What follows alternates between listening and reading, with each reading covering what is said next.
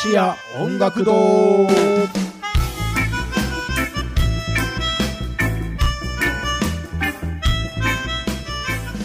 こんばんは。鴨志田音楽堂始まりました、えーパーソナリティの川越在住ミュージシャン藤井光一です。そして小江戸ビール代表の朝霧重治です。さあまあ毎回毎回あの、はい。好きな音楽を聴きたい音楽をはい。持ってきてかけるわけですけども、はいなんか妙に合致する時そもありますう合致する時もありますよね。なんか今日わりかし合致してるんじゃないかな今日はなんかという気もしないですね。はあーなんかかなり申し合わせたようなぐらいのね。いわりかしそうな感じですよね。そんな感じになっちゃったんです、はい。えーまあえー、2人で楽曲を持ち寄りまして、えー音楽の話。そして何よりもですね、えー、鴨志屋のプロ、はい。朝霧さんのはい。ビールトーク、はい。ビール話が。これが本当回を重ねるごとになんかどんどんなんですかね深みにはまってくるっていうか。もうもう逃げられない。非常にあの楽しい世界が広がってきて、はい。うんこれは本当ビールフリークになりますね。そうですね、まあ、あのこの一連のあのラジオの番組を聞いていただくと、はいあのビールマップができますので、本当ですよね。はい、これ本当毎週欠かさず聞いていただければ本当嬉しいですけど、本当ですよね。うん、もうそれでねやっぱ聞いてそれを参考になんか買いに行っちゃうとかね。はい、あのそうやって聞いていただくと本当に私も嬉しいですね。ですね。はい、まあ先週のあのビールが衝撃的だったんでね 私はもうそうですね。あの乳酸菌の塩にはい。あれはなんかもうなんだろう概念を覆す。うんでもなんかそれだけ聞くと、え、大丈夫？って多分今リスナーの皆さんね、きっとあの想像してると思いますけど、これがまた思いのほか美味しいんですよ。飲んでみたらね、はいすごかったっていうね。はい。まあ今日は一転してあのね今ももうビールついでありますけども、そうですね。これはもう先週と比べたらこれもう本当に普通みたいな感じのイメージ？ですね。うんはい。なので、まあまあそういう意味ではこう。まあ、いつもなんかあまりこうびっくりするものびっくりするものになると、うんびっくりすぎちゃうのでですね おじいさんもなので、あでもまだ結構びっくりするようなものがあるはい。ってことですね。そうですね。まだまだするものがまだまだあります。と先ね。はい。えーまあどんなものが出てくるか楽しみでございますが、えー今日もちょっとね、はい。ビールの話楽しみですそうですね。じゃあまずは始めましょうかね。はい。えーまずはでは今宵も乾杯。乾杯。鴨志屋音楽堂。この番組は小江戸ビールの提供でお送りします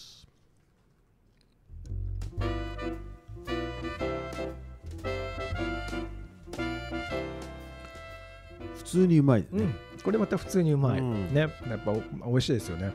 美味しいですね、まあ決してこうあの気をてらったものではないしい。本当にあのシンプルなあの仕上がりそうですね。ですので。まああのまずはこちらからいきましょうかと、はいうことですね。まあねこのビールの詳しいお話は後ほどということなんですけども、はい。もう12月になっちゃったよそうですね。今日そう12月1日ですね。本当ですよ、ねもう師走ですね。2023年もはい。あと本当一月で終わっちゃうっていう、まあなんかねあの年末になると必ずもう決まり文句であの早いですね。っていうもう毎年同じこと言ってるんですけどね。そうですね。そうですね。でもミュージシャンの皆さんあの忘年会とかっていうのはどうなんですか、忘年会ね。う、ん、なんかまともに忘年会ってやったことないあような本当に？気もするかな、うん。結構あのまあまあクリスマス時期ももちろんそうなんだけどはい。やっぱライブがあったりするじゃないですか。あそうですよね。ん。でまあぼなんかそれどころじゃないってことそうするとね、やっぱみんながそういう、あのークリスマスパーティーだとか、うん。忘年会だとかっていう時って、なんかライブをやってるパターンが多いのかなっていう気もなるほどね。次第ではないんですけど、はい。でも、あのね、今今年はあれですね、えー、12月のね、30日、ね、本当にもう、みそかの前に、大晦日の前に、あの新宿のピットインで、ほう。うん、セッションがありましあたね、らじゃあ本当にあの年ネスまでですね。そうなんですよ。はい。まあ、これもあのジャズ界のねちょっと、えー大先輩と、はい。ピアノが板橋文夫ね、はい。もう。あのだからあの、うん。あこの前朝霧さんあのライブ見に来ていただいたそうですね。モンピクの時にはい。あの東光義、東さん、うん。で僕と東君が、まあはい。い一応ジャズ界というよりか、まあ、ブルース界っていうというかことですね。そういうの二人ではい。そのそれ以外はねあの本当ジャズの人おなんですよ、お面白いですね、うん、であのそう。ピアノが板橋文夫で、はい。えーベースが米木康、はい。えーでドラムが本田珠也。はい。でサックスアルトサックスが森谷美幸さんとね、はい。まあそんなメンツで、ぴったりですか、はい。まあ前もやってるんですけどね、うん。なかなかねでも面白い。でまあやる曲が本当にあの僕と東君のレパートリーなんで、もうブルースとかそういう系なんですよ。だからだけどもろジャズ。じゃあじゃあミュージシャンたちはジャズバックグラウンドだけど。そう。なんですが、あの音楽的にはこっち寄りのものをやってもらうんだけど、でもね。どうなるんですかこういう時は。あのさすがなんですよ。はい。やっぱり。はい。まあ、板橋さんっていうのはねどっちかというと、まあ、あのガーッとフリー系なうん感じにいくんだけど、はい、即興系の。はい。はい。まあ、でもねなんかあこの曲でそんなふうにいっちゃうんだっていうその辺の破壊力っていうのはねはい。とんでもなくすごい、なるほど。えーまあね、えーそれで今年のライブあれかなもうライブはおしまいかな。っっていうことなんですね、はい。うん、まあね年明けが来年どうなんですかね。そうですね。まあだまあまあ、あのー日本も世界も、まあ、平穏を取り戻しっていうことなので、はいはいはいこのこの延長線上で、あー。盛り上がってまいりましょう、はい、ですね。なんかね、はい。あれですが来年の展望とかあります？そう来年の展もねまたまたいろいろあるんですよ。やりたいこともありますし。まああの引き続きやっぱりこう私もあの仕事としても海外の出張っていうのはあ復活しましたからはいはい。わり、かしやっぱり慌ただしく。じゃあ結構あちこち飛び回るってそうですね。また飛び回りつつっていうこととあとはまあこの川越の地に残りやはい農業をやっていくあっていうのと、まあそういうなんか両面かなってまあこれもなんかし長い目線でもやっぱりそういうもんかなとも思ってるんですけどね、はい。ですね。はい。まあ僕もねなんかでも今年がもうちょっとコロナ系のタイミングでひ非常にスケジュールが立て込んでそうねもう飛びまくりっていうかね、はい。で飛びまくりすぎてっていうかなんか体力がうん。追いつかなくて はい。なんかねちょっとちょっとこう疲れちゃったなっていう気もあったんだけど来年はね働き方改革。を詰め込みすぎない考えてね。そうですね。もうちょっとゆったりいこうかなってね、はい。えー年相応に、えー。ますますいきましょう。はい。まあビールは飲むと。そうですね。で、まあ、そうそうまたビールの旅も続けていただいて。そうですね、はいさあ、えービールの旅の前に音楽の旅なんですけども、はい。今日はなんかあれですよね。本当にもうジャンルが合致しましたね。そうですね。今日なんか綺麗にいい感じなんですけどね。ねえ。はい。さあまずは今日朝霧さんの曲が。そうですね。私今日お持ちしたのはねアルグリーンですね。えーアルグリーン来ちゃ50った年前のアルバムですけども。はい。いやいやいやいや、はい。アルグリーン来ましたね。はい。アルグリーンです。で Living for You ってアルバム持ってきましてですね、はいはい。まあ、その中からちょっと選曲しておかけしたいなと思っております。はい、では早速聞いてみますか。受けましょう。はい、はい、アルグリーンで Living for You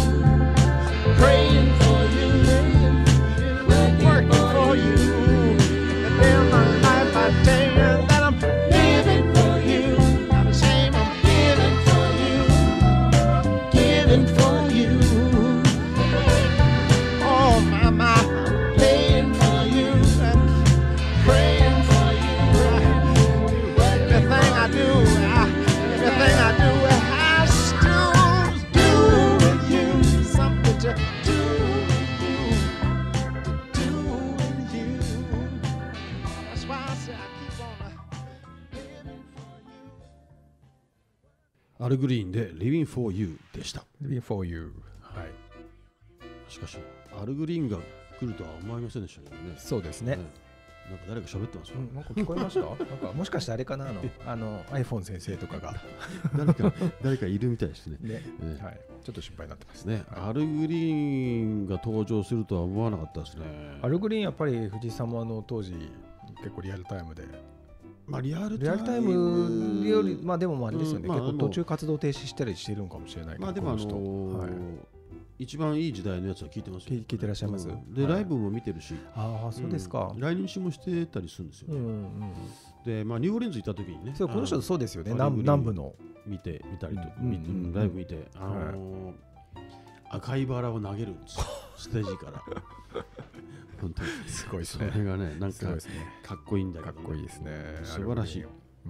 一時期ね、あの本当ももろゴスペルの世界にそうですよね。行っちゃったんですけどね、うん。うん。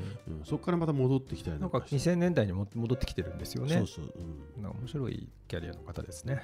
まあいろいろあったんでしょうけれど。はい。まあでも大体でもあれですよね、うん。僕ゴスペル出身なんで、なんか一回戻るっていう人多いのね。ああ、なるほど。で戻ったままうんなっちゃう人もまあ多いんですけど、うんなんかそういうのってみんなルーツはね結局子供の頃から教会で歌ってましたとか、うんうんそういう人が多いから確かにね、そうですよね。まず、まあ、そこやっぱりそこで歌のうまさとかに周りも気づくし、本人もちょっとね、私はで違うかもね、みんなかからっていうのもあるんでし教ょうね。会で子供の頃から歌ってるっていうあのなんつうんですかね基本がもうすごすぎるんですよねそうですね。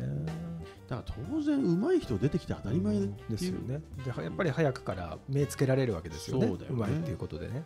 だからアレサ・フランクリンなんかもそうですよねねそうですよねんアレサフランクリンもまあ本当うですねそんな人ばっかだようね、ん。まあでも本当、リビン・フォー・ユーもやっぱりいい曲ですね。はいさあそんなアルグリーンなんですけど今日はね私オーティス・レディングなんオですよーティス・レディング。ははいい。大体あの毎年ねやっぱこの12月に入ったらあのオーティス・レディングはかける。そういう、そういうムードなんですね。命日がはい。うん。12月あ命日12月だから。10日なんですよ。なるほど。そう、うん、あのー、1967年12月10日に26歳で死んじゃってるんですよね、だからこのあの12月のねこの頭って8日がジョン・ディロンでしょ、そうですね。ね、でね10日がオーティスで11日がねサム・クックなのなるほど。よく覚えてらっしゃいますね。これはね、はい毎年あのあパターン的に絶対この時期はね確かに。まあ、かけるツイツイートってやっぱありますよね。かけるとそうなんきにね。ですよね、はい。うん、もうツイートで、えーいつもかけてるんですけどはいえまあ、そんなオーティス・レディングがこれ亡くなるね何日前だ？4日ぐらい4日前ぐらいかな？はい。にレコーディングしてて、えそこからもうね亡くなっちゃったんですけど、えーそのあの本当の死後ーうん。死んでから出たアルバム、んこれがまたすごいうん素晴らしい出来のアルバムでね、はい。えーその中からちょっと聞いてみようかと思いますが、はい。えーではオーティス・レディングで Hard to Handle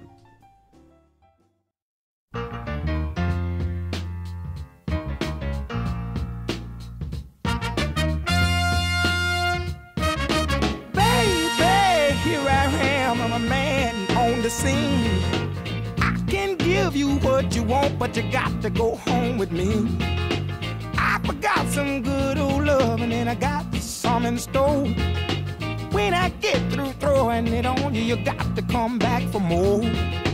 Boys and things will come by the dozen, but that ain't nothing but drugstore loving. Pretty little thing, let me light your count, cause mama, I'm sure hard to handle now, yes, around.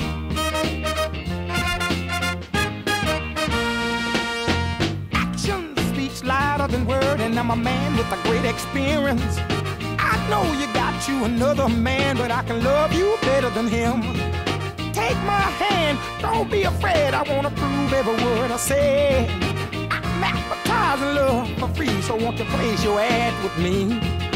Boys will call my dime by the dozen, but that ain't nothing but 10 cent love. Pretty little thing, let me light your count, cause mama, I'm sure hard to hell and I, yes, I am.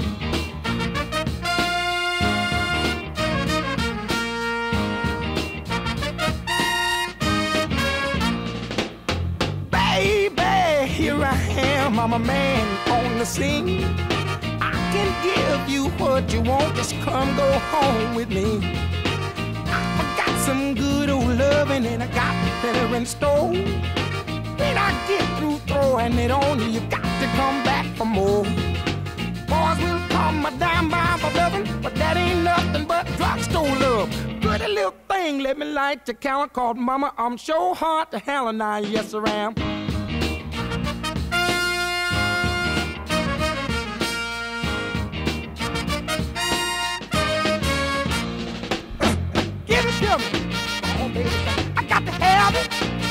Give me some good old love. Some of your good love. I'm a big old man, mama. Hot.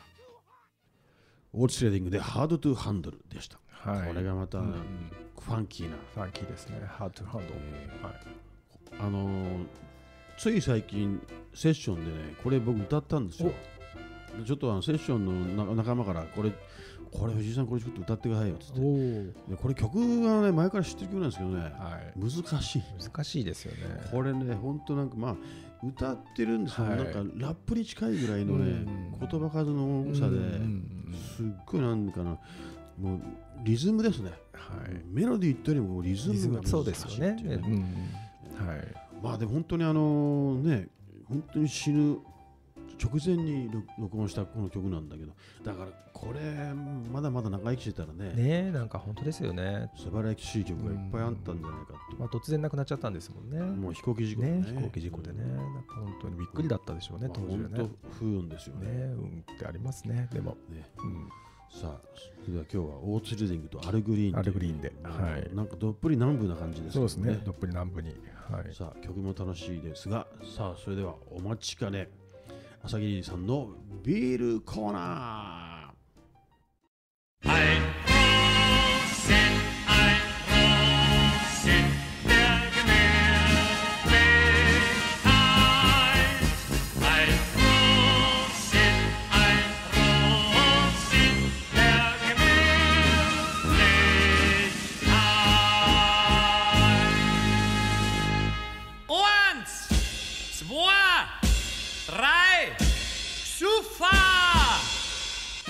プロース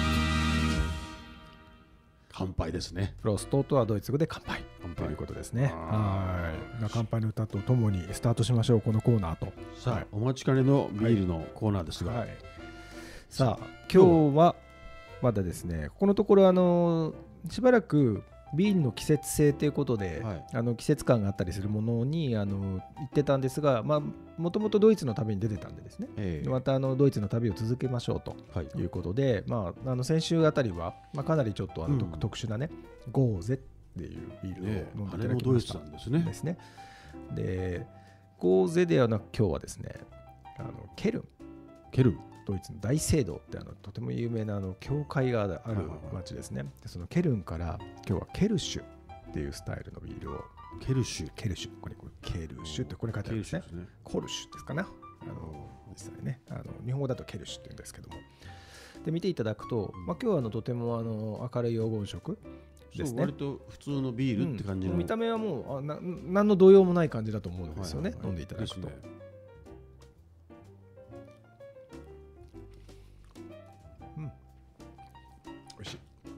綺麗な味ですね。うまいですね。まあ綺麗な味わいです。うん。でやっぱりこう軽やかなんだけどやっぱりバック100%原料はまあバックがホップ水しか使ってないんで、うん。うんでこう軽いんだけど軽すぎない。はいこれだけ色薄いからなんかすごく軽そうに思われると思うんですけどそうですね、うん。しっかりこうあの麦芽モルトの旨味甘みっていうのが舌の上に感じられるっていったところ味わいはありますね。余韻が結構長いタイプのビールですよね、美味しいですね、はい、今日はフリューっていうですね。1904年。ですからまあドイツのビール界だと割と新しい。割と新しいじゃないですか、まあ、この先日の、あのーオクトーバーフェストビールなんて飲んでいただきましたけど、あれはなんかでも1600 年頃からやってますよ私たちはっていう。本当ですすごいね。ね、本当江戸時代の初期の頃ぐらいの時代の人たちですからね、まあ、そういう意味では新しいかもしれませんが、まあ、この王冠が3つ並んだこうエンブレムのような形で赤と白のラベルで、まあ、あのケルシュと堂々と書いてあるフリューさんの、まあ、ビールを今日は飲んでいただいているわけですが、まあ、このケルシュっていうのはエールラガーってあるじゃないですか、はい。はいまあ、そういう中で言うとエールなんですけども、はい。まあ、ちょっと特徴的なのはエールってこの室温20度ぐらいで発酵させて、ん。まあ、比較的あの暖かいところだから微生物である酵母も活発に動いて、でまあ、3週間ぐらいでビールってできるっていう形のものなんですけども、あえてこのケルシュの場合は結構低温で熟成させていくっていったことっていうのが特徴でして、まあ、そういう意味でこうわりかしあのピルスナーとかみたいなこのラガー系のようなこのキレとすっきりした感じっていうのも一方では持ちつつでもやっぱりモルトのうまみもしっかりこう残るっていったところでですね、まあ、あのこういう黄金色の、まあ、エール系のビールっていうところではとても飲みやすいタイプかなと思いますんで。まあ、見かけてケルシュっていうのを見かけていただいたらあのそんなにこうすごい強力な個性を期待するっていう感じではなくて、まあ、シンプルに普通に、ううんん、あのうまいビールをいただこうっていう感じでただいつものちょっとピルスナーよりはあの少し華やかな香りがあったりするよねっていうことで思っていただいたらいいかなと思うんですけれども、まああのーすごい個性が強いのとね比べちゃうとなんか 一見ね なんかこうシンプルすぎるかなっておとなしい。あのうん、おとなしいっていうことで思われるかもしれませんけど、ね、でもこれがこれが普通なのかなっていう感じそうですね、そうですね、はい。まああのゴーゼがゴスラーだったらケルシュはケルということですね、まあ、やっぱりこうそのその土地のものその土地のものっていうのではい。明確にこの起源が地域に結びついているので、うん。やっぱりこうビールの旅って言ってますけど実際なんかドイツしばらくゆっくりしていただいたらじゃあケルン行こうかなとかミュンヘン行こうかなとか、デュッセケルンルドルフって大体どの辺なんですか？ケルンは、まあ、ドイツのあの真ん中あたりの西の方うんですかね。で、まあ、結構あのドイツも広いのでね。大きな国ですからね。ので、まあ、デュッセルドルフとかケルンとかあとかつて西ドイツの首都だったボンうんっていう町とかが大体そのドイツの西部の方ですね。でまあどっちかっていうともうなんだろうあのベルギーとかオランダとかに割と近い方のドイツっていう感じうんですかね。なるほどね。はいもうどっちどっち寄りかっていうので随分個性違うですよね国の中でもね。そうですね。まあ、あの全般的にあの教会文化ですからどこの町にも確かに教会はあるけれども中でもケルンの大聖堂っていうのはとても有名でしてですね。あの素晴らしい建築ですね。これはでもケルンって食べ物なんどうなんですかね？ケルンのあたりの食べ物ってどうでしょうかね？なんか何か名物なものっていうのがまあでもやっぱりドイツですから一般的にあのにお肉料理っていうのはソーセージとかうん、ソーセージっていうのは美味しいかなとは思いますけどね。いやいやいやケルンケルン起源のソーセージとかもありそうですけどねやっぱりなんか結構そのソーセージにも地名みたいなのがついてたりするんですよね。でそういう方もあるので、まあ後でちょっと調べてみましょう。ええはい。まあなんかこれ本当あのなんかお腹空いてきますねそうですね。なんか誘いますよね。誘いますねそういったところを誘いますよね。今度つまみ持ってきたらなんかし それそれはやりすぎだねはいいや、うん、そうですね。そうするとだんだんなんかこうあの、んだいぶあの飲み会感が出て宴会になっちゃうねそうですね。だ一本で足んなくなっなちゃうんですからね一本じゃ足んなくなっ持ってくるビールの数も多くなるみたいな。それは危険ですよねやねやや危険かもしれませんね。はい、はいね、えーということであの、まあ、ビールの旅がまだまだそう、まだまだ続きます。続きますよね。はい。なんかこうこのすごいですねなんかこの右行ったり左行ったりみたいなその個性がこうねそうですね。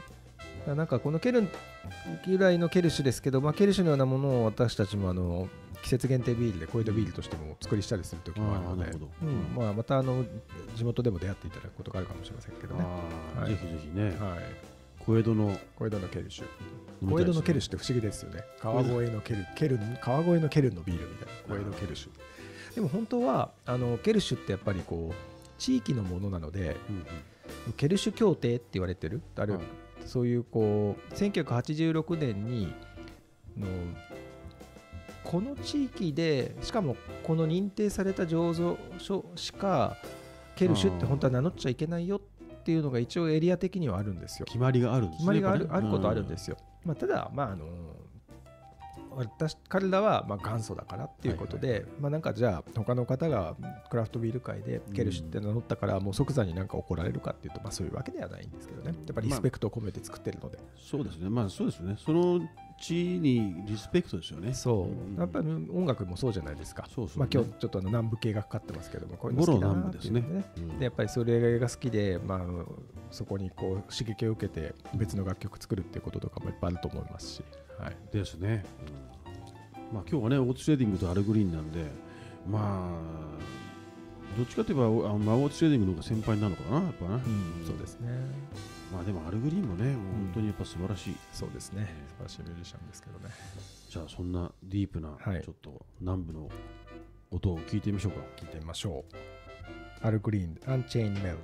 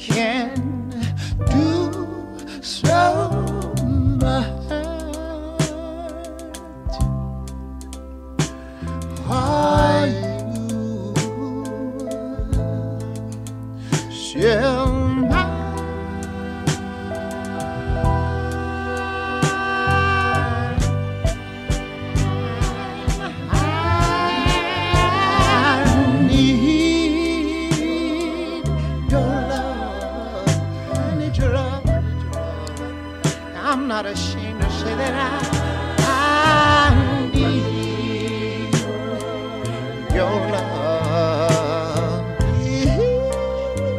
So God, won't you please speak your love to to me. Won't you speed your love to me? Unchained melody. Speed your love to me. Speed her love to me.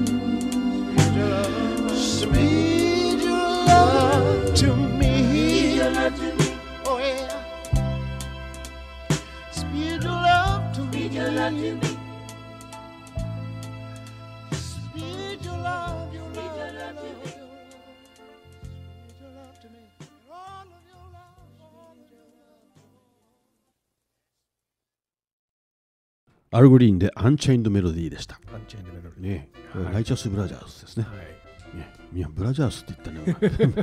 ライチャスブラザーズですね。はいで、白人のね、あの、デュオで元歌ですけど、そうですねうんはいまあなんかこう、しみじみきますね、アルグリーンね。ね上手ですよねやっぱりねこういう歌を歌ってもね本当本当。はいまあ今回ねあの本当まあ僕はあの毎大体この10 12月に入るともう命日ってことで、えーオーディスかけてはい。たりするんですけど、はい。で今回ねまあモーツェディングかかけるんですけどもう一曲何しようかなと思ってね、うん。自分の歌なんですよ、はい。自分が歌う歌なんですけどいいですね。でもここにまたあのアルグリーンとオーティスと藤井さん。これがねあのね、実はでもこれオーティスに随分関係があるというか、うん。絡んでるっていうかね、うん。あのもしもオーツェディングがはい存命ではい。生きてて、はい。日本に来てはい。来日をしてはい。日本の音楽に出会ってでその歌をオーツレディングが歌ったらどうなるかっていいううそういう過程のもと 作られた曲ですか？もしもシリーズなんですけどなるほど。だから例えばあのサク奏者でサム・テイラーってはい。来日して本当にあの日本の民謡や演歌やとかうん。すごいあれでもうあのレコーディングして音源残してるんですよね。なるほど。だからその同じパターンっていうのがオーツレディングにもあってもおかしくないだろうとなるほどなるほど。そういう想定のもとにあのレコーディングしたんですけど面白いですね。がなんかそういうふうにねひらめいちゃったんだ で曲がね「哀愁列車」って哀愁列車。知ってます？いや宮橋道也。わからない宮橋道也さん。宮橋道也なんですよ、はい。はい。まあ宮橋道也のね哀愁列車って、まあ、元歌を、まあ、知ってるといかにこれがオーツレディングになっちゃったかっていうのがなるほど。わかるんですけど。オーツレディングがもしもこの宮橋道也の哀愁列車を気に入ってそれをメンフィスに持ち帰ってスタックスのスタジオで録音したらどうなるんだっていうそういう想定のそういうう想定なんですね、はい面白いな、えー録音したやつでちょっとまあ大津節があのちょっと意識して歌ってますんで、えーどんなもんか聞いていただきましょう、えー藤井浩一関所して哀愁列車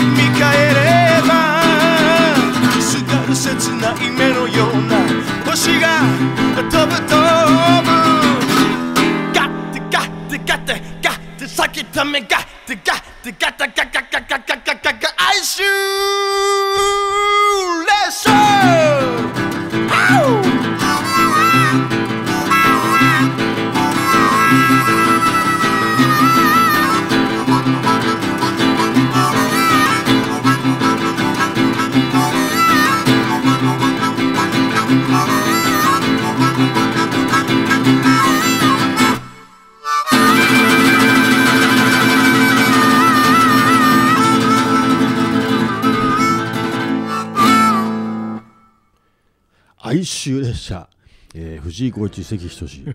これ1995年98年の アルバム「アツカント中華」っていうのからね、はい。えーかけたんですけど。はい。もう元気ですね。元気ですね、うん。でもなんかあの「熱燗と中華」っていうタイトルも元気ですね。これ熱燗中華これね、まあ、熱燗と中華まああの、まあ、変な曲なんですけど、はい。絶対楽しいですよね、でこれあのね。もう録音がねあの一発なんですよ。もううん。ギターと、で僕がハーモニカ吹きながら歌ってるからはい。結構しんどくてね。疲れますよねこれねだから大丈夫ですか？若さゆえ、ねはこんだけできてんだねっていうい、なるほど。感じがありますけどね。はい。もう聞いててむせてきたんですよ。まあむせたらビール飲んでください、うん。まあ、あ最のそうですね、うん。あのさっき飲んでいただいたビールは、はい。あのケルシュっていうじゃないですか。はいはい。こういうふうにあのえ？現地では出すって面白いですよ。だからドイツってこうジョッキとかだでっかいグラスでってイメージなんですけど、これ200ミリぐらいのこうなんちっかちゃいんだね。本当あのタンブラーストレートのやつで、はい。でこうみんなで飲んでどんどん飲むんでしょうね。あっていう。もう大きいのでごくごくじゃなくてもうちっちゃいのをちっちゃないんかクイックイ。そうそうそう。なんかなか面白いですね。まあ、そういう意味じゃ確かに飲みやすいのでクイックイッという感じあーなるほど。ということですね。まあでもこういう飲み方もいいですね。いいですよね。このシュタルゲっていう専用のグラス。200ml おー。200cc ですね。はいはいでクランツっていうこれがお盆がクランツと呼ばれてるそうですね、うんうんうんなんか面白いなってやっぱこの地域に行けば地域に行くあー何のカルチャーこれ専用のお盆ですね専用のおなんかここぼさないように持ちやすいようにみたいなね。ちゃんとグラスがこうはまるようになっててはい何杯もね。そうですね。うん。これをじゃあ持ってくるわけだなこれ持ってくるということで、うーん。私ねケルンは行ったことがないからこれリアルにこれ体験してないから今あの写真だけですけどね。これでもややってみたいですね。ねちょっと面白いですよね、うん。これみんなで行ってこうちょっとケルシュ頼もうよと。いいですね。まあビールっていうとケルシュが出てきそうな気がしますけどね、はいはいはい。うん、何も言わなければ。うん。はい。さあ今日のね本当ビールも、まあ、割とまあオーソドックスというか、はいうんなんかまあいわゆる普通のビールっそうですね。ていう感じですかね。うん。まあ、今日のフリューはアルコール度数も4.8%あー。まあ大体5%ぐらいなんですよね、でまあこうわりかしこう上品な感じの香りのホップが少しこう変わるっていうのと、まあ、そんなにあの香りもわっと強い感じではないけど、まあ、とてもあの柔らかい果実味があったりっていう感じでね、はい。まあでもさっきみたいにあの小さいグラスでね何杯も何杯もこのなんかみんなでワイワイ飲める感じ？っていうのは分かりますよね。うん、わかりますね。そうですね。うんいや今日も本当にあの美味しいビールを飲むことができました。はい、今日はそしてケルンからケルシュでした。ケルシュ。ね、またそれでいい音楽も。はい、はい、いいですね。ね。ね、もうさっきの哀愁列車にだいぶもだいぶも 持ってかれましたけれども、今哀愁列車はね。今でもね歌ってくれってリクエストされるんですけどね、はい。これ結構今やると結構大変。大変だったりするんだけど、ハーモニカも吹かなきゃいけないですからね。うんそうなんですよね。ご説明だと。さあそれでは、えー今日最後の曲はい。はい。聴きつつ今日はお別れになるかなって感じですそうですね。はい。それでははい。アルグリーン、Be Aware。The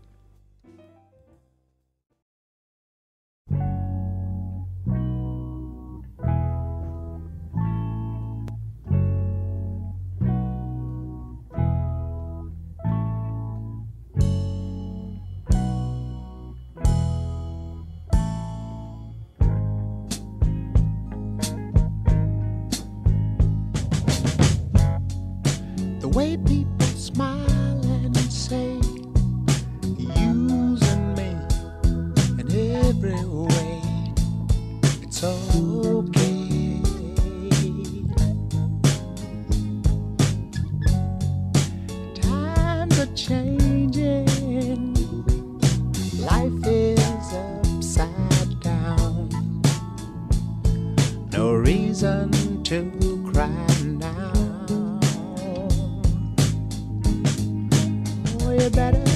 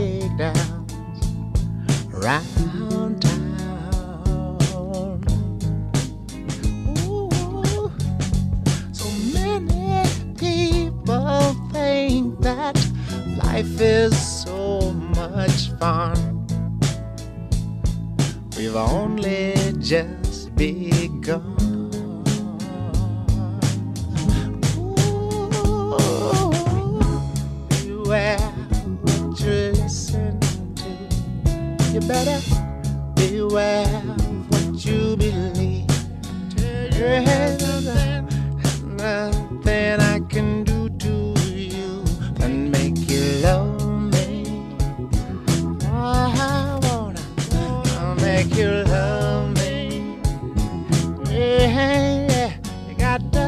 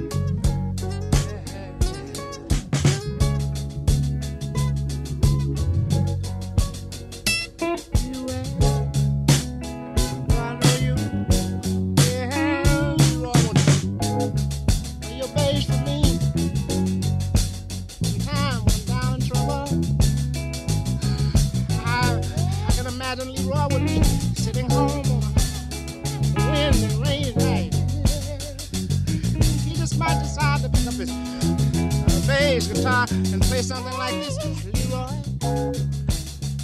アルグリーンの Be Where を聞きながらですけどもはい。このね音たまんないんですよね。はい。この本当のメンフィスの音ね大好きでこの音を本当に再現したくてっていうのでねあのシングル版作ったりもして、ねまあ言われま言われてましたもんね、そうなんですよ。まさしくこのねこのグラムの音とかねしびれますね。このねスタジオにはもうドラムがもう本当にもうそのまま今据え付けてあってなるほど。でミュージシャンもそこのあもうそれ持ってこないんですか、そうそのだからもうスタジオのその同じミュージシャンなんでなるほど。ここで撮ったらみんなこんな音になるっていう。なるほどなるほど。これそれがでもそこのねまあ、個性なんですそうねそう。だそこの醸造所で作ってるビールみたいなそう。ね。そういうことなんですよね。そうですね、うんメンフィスの中でもそのスタジオか、そうロイヤルサウンドスタジオってね。でまあ、そういう意味じゃそうですね。ケルンの中でのフリューみたいな。そうそう。まあ、そういうことだ。かっこいいですね。だからそういうこだわりのねスタジオってやっぱあちこちにあると思うんだけどね。はい。うん。だなんか久しぶりにこの音がね なんでこんな音するんだろうっていうような音なんだけどね、はい。えーいやいやいや。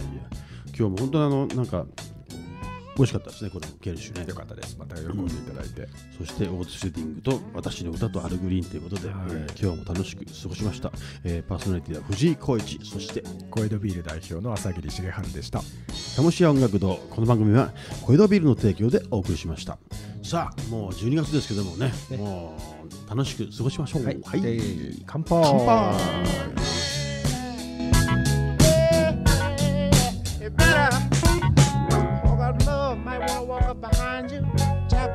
shoulder, So tired, shoulder. so tired, so tired, so tired. Don't just remember